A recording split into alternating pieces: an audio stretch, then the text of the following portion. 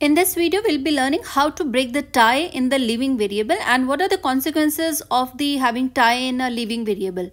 So if we have a tie in the leaving variable, it leads to degeneracy in the simplex table. So to explain this all process, let us consider an example. Solve the linear programming problem using simplex method and this problem is a maximization problem where we have three constraint all less than so the standard form of this LPP is that we involve the slack variable with the cost 0, 0 and these S1, S2, S3 are involved in the three constraint respectively and all the decision variable are non-negative. X1, X2 are already given to be non-negative and these slack variable by definition we add the, them as a non-negative decision variables.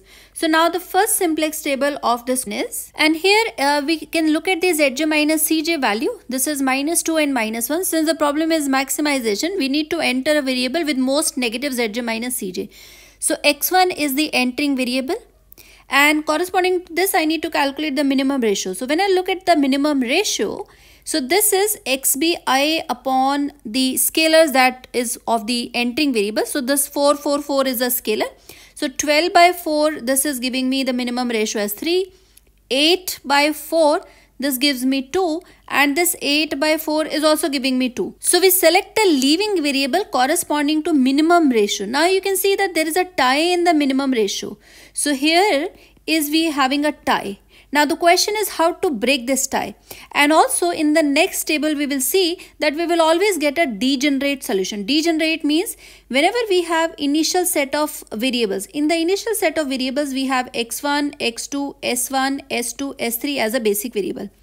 The initial selection we have s1, s2, s3 as basic variable and x1 x2 variable as non-basic variable. The non-basic variable always take the value 0 this point i have explained in my initial video. So that means x1 x2 is a 0 and the value for x s1 S2, S3 we can read it from the table which is the right hand side that is 12, 8, 8. So this is the situation currently. Now in the next table when I uh, take the iteration so once we enter and leave a variable suppose I get x hat as a new solution and in this again I have certain as the basic variable and certain variable as a non-basic variable. So now non-basic variables are definitely going to be 0 as the definition says.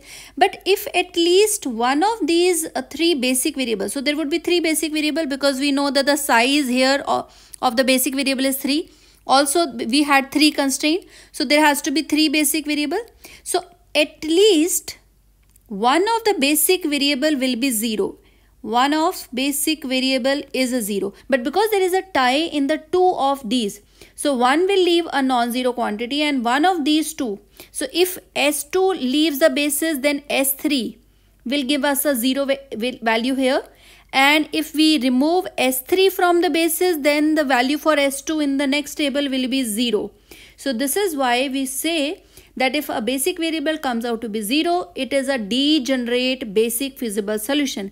And the tie will lead us to degenerate basic feasible solution. Now I'll see this in the calculation. So we have two options to break this tie which is leaving to uh, degenerate basic feasible solution. The option one is that we make arbitrary selection for the leaving variable.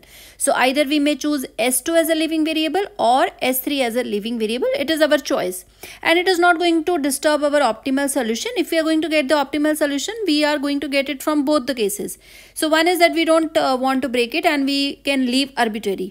Now the second one is we want to understand how to break it actually. So to break this tie, elements of first column tied variable of unit matrix divided by corresponding elements of entering column with key element. So here we must need to identify which was our initial unit matrix or initial basis. So we know that S1, S2, S3 were the initial and in these two we have the tie. So we need to only identify this. So our initial selection was actually this. Initial B matrix was this. S1, S2, S3 was in the basis. In this only the last two column have the tie. So that means I only need to focus onto these entries and then move from left to right. So now in the numerator we need to put the entries this one. So elements of first column. So here this will become the first column this will correspond to second column and this correspond to third column. So there is a variation in these entries okay? So as you see that in the first column we don't see much variation because both the entries are 0 0 but as we move from left to right towards in the unit matrix we can definitely find certain variations. So now in the numerator we'll have these element and in the denominator we will have the element which is due to the tie column that is 4 4 so now let's see in the first case if I look at for the first column since here I am writing the first column. So the first column entry is this one. So let's show it by the green color. This is first column and this would be my denominator. So in this case I will have 0 by 4 and 0 by 4 again there is no conclusion. Both are same. So we'll move to the next column. In this situation what is the next column? Next column is this. Next column of unit matrix which is going to be in the numerator so in this case we will have now 1 by 4 and then we have 0 by 4 now this 1 this 1 by 4 and then this 0 by 4. So this gives us a choice. Now here we have 1 by 4 which is a non-zero quantity and the second is 0. So and in case we don't get a choice here also then we can move on. So we can move on means we have to look at the third column choices again. So in case you can break your tie here itself then stop this process so now we see that this is 0, this is 1.4 and 0 is corresponding to minimum.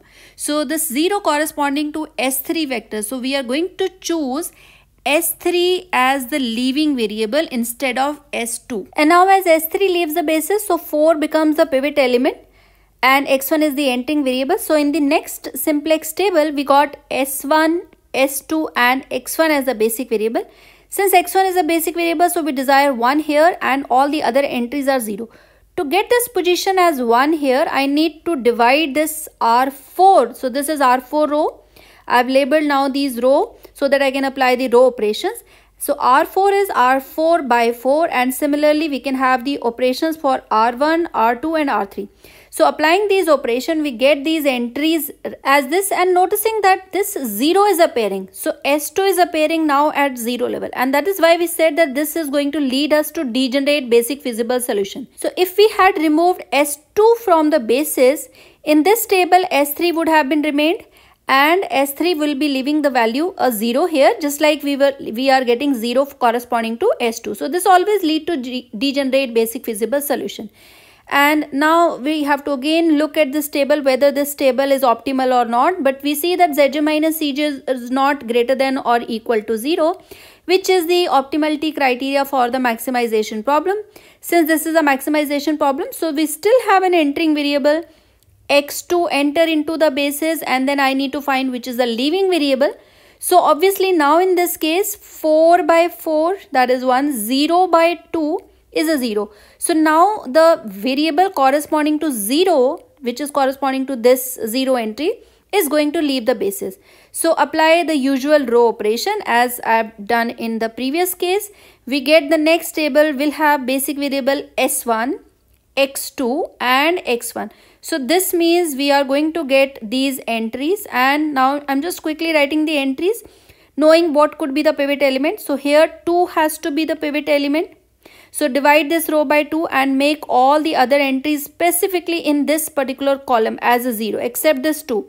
So at this position 2 I need a 1 and I get remaining entries as this. So this is 3 by 4 minus 1 by 4 minus 2 half 1 by 8 1 minus half 1 by 8 and the xb column we got 4402 and this degeneracy will not leave us because all these row operations that we are going to apply on 402 is actually based on this element only 0 because of this is the pivot row.